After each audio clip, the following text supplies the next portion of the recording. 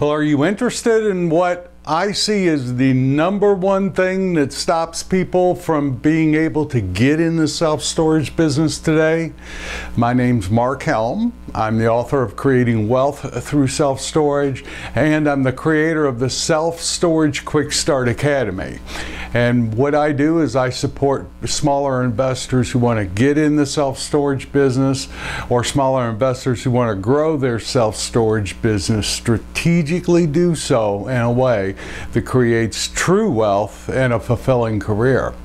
And here's what I see as the number one thing that stops people from getting in the self storage business or even growing their self storage portfolio today. And it's not some big, you know, fastly evolving dynamic aspect of the self storage industry. Actually, what it is is fear. Fear is the number one thing I see as I work with people that blocks them from moving forward and either getting in the self storage business or growing their self storage business. So, look, I know it can be scary. I know that moving into something new can generate fear. I get it. Like right now, as I'm filming this, we actually have a bid out on a portfolio, which for us is probably the largest number we've ever put out there. And, you know, there's a part of me that's really excited and hopes that we get the deal. And then there's another part of me that would be that's scared that what if I made a mistake? What if I don't have my numbers right? You know, what will this mean to me if I screwed up and we actually get it? So I get the whole thing of fear, believe me. And anyone who has been in may anything that is expanding them and moving them up and especially moving into new areas outside the comfort zone we all have that fear. But here's the thing the main thing between what I see as successful people in any endeavor in life and the almost successful or even the never successful. The main difference is not that there isn't any fear, but that successful people are able to take action in spite of the fear. Look, I know all about the imposter syndrome, and I'm here to tell you it really doesn't matter how many facilities you have. At some point, you will feel like you're an imposter. Like you have bamboozled the banks, you've, your investor, everyone, and you really don't know what you're doing, and you really get scared. And I'm here to tell you, it doesn't even matter how many facilities you have. That experience, that fear is there for everyone, and everyone will hit it at some point. I promise you. But the difference is the ability to recognize it as fear and to be able to take action steps anyway, even though you have the fear to be able to take the next step. Here's what I know from working with a lot of people over a long period of time and getting training for myself is that fear never, never goes away. It just doesn't go away. But it doesn't have to show up like an all consuming thought that totally dictates what's possible for you with the right training and the ability to relate to it in, in, such a way, it'll begin to show up as like that annoying relative who shows up at a holiday event. You don't like them, but you know that they're going to be there and you got to deal with them and you'll do so and you're not that invested in them and you're very glad when they're gone the, you know, that relative will eventually, fear begins to show up for the people that I have mentored after. Fear begins to show up like that. Like you know they're going to be there and you'll be glad when they're gone and you know how to deal with them. So here's the thing fear is just a thought. And what I've noticed is the successful mentors that I have modeled after in life, they have some practices that they do that helps them one reduce the amount of fear that happens, and two, be able to deal with it effectively when it comes up. So I want to take these next couple of episodes and share with you the practices I've seen the mentors and the highly successful people who deal with fear very effectively, what they do to deal with it. And I want to share those five practices with you. I'm also curious any practices that you all may have that you would share with me and with each other out there because we all deal with it. And it doesn't matter how sophisticated you are, you will still be dealing with fear as you step into unknown areas as you grow and get in your self storage business. What my hope for you is that the fear when it shows up, it doesn't stop you.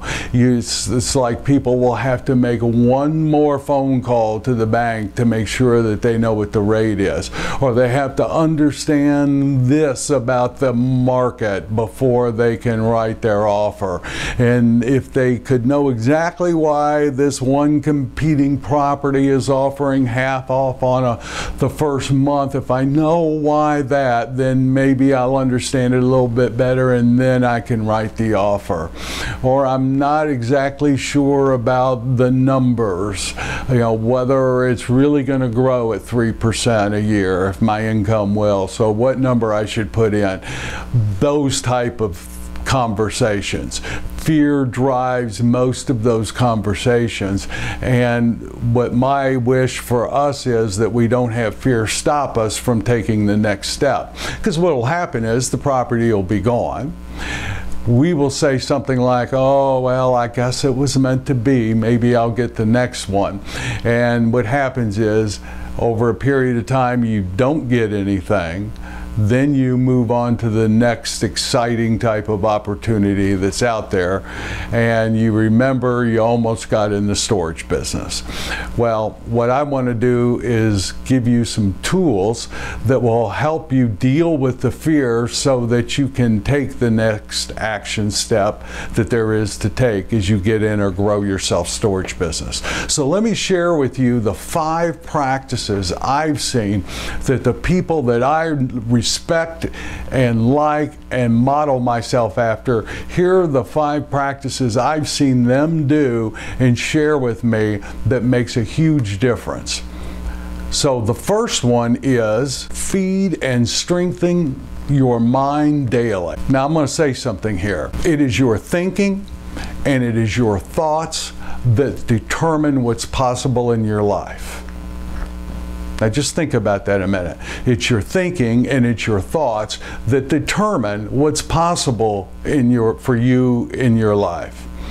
What's possible in your self-storage business or what's pos can you get in the self-storage business. Now I know the first reaction is like mine when I hear that. It's like, yeah, I know that. Of course I know that. Yawn.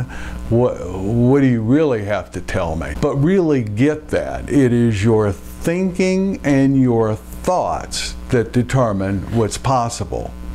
So, what are you thinking about and what are your thoughts the majority of the time? See, most of us don't relate to fear like it's a thought. But that's all fear is, is a thought. Fear does not exist. What you're afraid of, for the most part, does not exist in reality. It is a thought. And fear literally is a byproduct of our evolution as a species. Fear is nothing more than a synaptic connection that happens in the brain in an instant that's either generated A by a thought or B by some sensory input. It's a synaptic connection that generates a chemical response in the brain, in the body, that causes the physical body to either fight or flee. And it is fear, it is that ability to fight or flee that allowed our species to survive hundreds of thousands of years ago in a very unfriendly environment. It kept our spe species alive. But as our species has evolved and we now have mastery over our environment, the number of times for most of us in our life where we are physically in danger and that fear saves us physically for most of us, we can count it on one hand the number of times we've ever had real physical danger in our lives. But yet, the same chemical response is there, and anytime we have a fearful thought, the same process happens in our body. In fact, stress is nothing more than the residue of that chemical reaction lingering in our body. It's toxic and it can kill us eventually. So being able to control the thoughts in the mind, the thoughts in your thinking is critical in being able to effectively deal with life and to be able especially effectively deal with your thoughts as you move into new areas and expand your comfort zone in life. You know, fear still creates the same chemical reaction in us today that it did in our ancestors hundreds of thousands of years ago.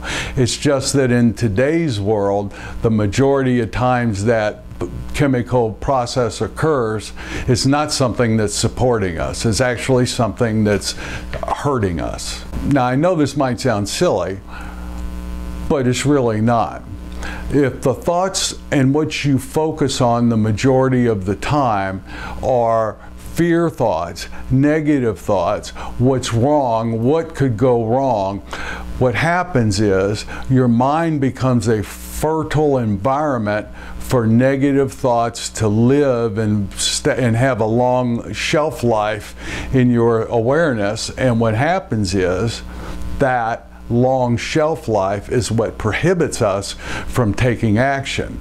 So, what I've noticed is the highly successful people guard their thoughts like a hawk.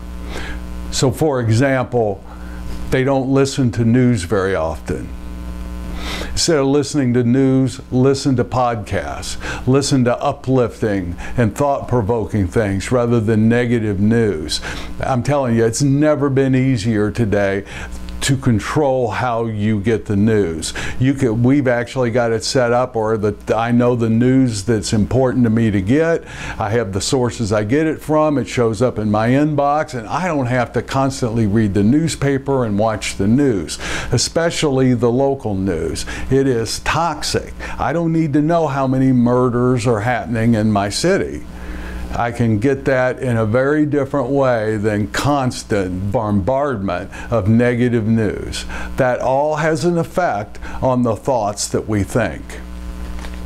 If you're religious or spiritually inclined, every day set aside time that you read spiritual and uplifting material. In a lot of these episodes, we've talked about the morning routine. You know, set aside time every day that you're putting positive, uplifting thinking thoughts into your brain and then guard the rest of the day what comes in. The quality of your life at any given moment is determined by the thoughts you're thinking at that particular moment. Have your mind become your ally rather than something that stops you in life. You know, positive thinking creates a chemical reaction just like negative thinking does. And the more habitual positive thinking becomes, the better the environment, mental environment, we will create for ourselves. And that is the environment in which your self storage business is going going to grow or not grow. Always have positive input coming in, be reading books that uplift you, have a routine daily where you're taking time out to feed positive, uplifting thoughts into your mind, and guard what comes into your mind like a hawk. That's what I've noticed that highly successful people do. That's what the men my mentors have taught me to do. Try an experiment. Try going five days, you know, one work week without reading the newspaper or watching the news or listening to it on the radio. Here's what you'll notice is that you will your life will go on, your business will go on, and the world will go on without you knowing about all of the intricate details and all the negative stuff that's going on out there. You will, it will just move on. But the difference will be your thinking during that week. Give it a try. Here's what I know is your thinking, your thoughts. That is the most important asset you have. Now, the next practice I've seen that highly successful people and people who are able to not let fear stop them, the next practice I've seen is that they feed and strengthen their body daily as well. Now, I'll be the first to tell you of all the practices, this is probably the one that I'm the least consistent in, and in many ways should be the easiest practice to be consistent in. Look, we all know that eating right and exercising makes a huge difference for us. But yet, we don't prioritize it like we do other aspects of our business. I can remember 30 years ago about in my career when I was working with one of my first business coaches. That time I had just I was running a brokerage company, my first real estate company that I was in charge of. And I can remember that I was whining about the fact we had grown and I'd hired some more staff and I had to, at that point, we were in a negative cash flow and I had to continually feed the company to keep it going. Or how it occurred to me is I had to let an employee go and that and then do more work myself, which would take me away from the brokerage, which was the how I was generating the money to feed the company. And I was suffering financially personally, but I was keeping the company going. And I explained all this in detail to this coach, this mentor, and he, they listened very patiently. And after about five minutes, I stopped and they looked at me and he said, Are you exercising? And I felt like screaming at him at the top of my lungs. I mean, did you hear what I said? I'm talking about my financial survival. Why are you asking me about exercise? And but I didn't. I just quietly took a deep breath and said, "Not really." And now I really get the power of that. I get the power of that question because here's what I know, and here's what you know regular, consistent, exercise allows you to think better, allows you to focus better, and allows it creates a much more focus and improves the critical thinking. Not only do you feel better, not only are you more healthy, it really improves the cognitive ability of your brain to function. So here's my commitment from putting this episode together is that I am going to focus, I'm going to get a either a yoga coach or a physical training coach slash accountability partner because I know that ex regular exercise would make a huge makes a huge difference for me but yet I'm not prioritizing it. So for me that's what I will do to get that habit back of daily feeding and strengthening the body. So those are the first two practices that I have seen successful people who really have mastered the ability to not let fear stop them. That's what they have told me, and that's what I've noticed from their actions that they continually do. I have three more that I think you'll be surprised about that I'm going to share next week but I'm real curious what are the practices that you have, that you've taken, that have helped you take action even when fear is involved? I'm very interested to know what they are. Share them below so that other people in the community can read them and let me know what you do to take action especially in your self storage business, in spite of having the fear pop up. So thank you very much. My name is Mark Helm. I'm the author of Creating Wealth Through Self Storage, and I'm the creator of the Storage World Analyzer. Go to storageworldanalyzer.com, find out more about version two of this program. This is a killer program that does financial analysis for, for the self storage industry.